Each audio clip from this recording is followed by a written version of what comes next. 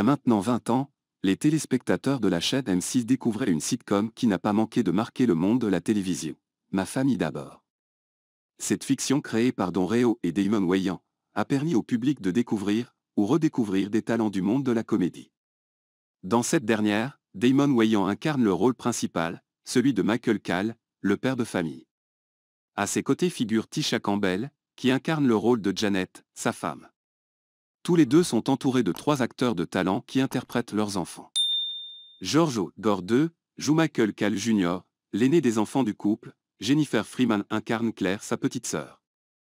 Le rôle de la cadette, Caddy, a été attribué à Parker McKenna posé point cette dernière n'a que 5 ans lorsqu'elle fait ses premières armes en tant que comédienne dans la fiction. Un jeune âge qui ne l'empêche pas d'apparaître dans la série pendant 4 ans, dans l'intégralité des saisons diffusées aux USA et en France. Parker McKenna posé avait donc 10 ans lorsque la fiction s'est arrêtée.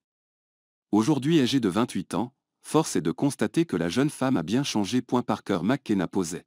Une maman épanouie plus de 20 ans après ses débuts, Parker McKenna posait continue d'exercer dans le monde de la comédie. Cette année, elle est d'ailleurs apparue dans le casting du film The Assistant. Elle a aussi figuré parmi les célébrités conviées à participer à l'émission de télé-réalité Collège Hill, mettant en vedette des célébrités vivant ensemble et fréquentant l'université Texas Southern. Côté vie familiale, Parker McKenna posé ne cache pas qu'elle est parfaitement épanouie.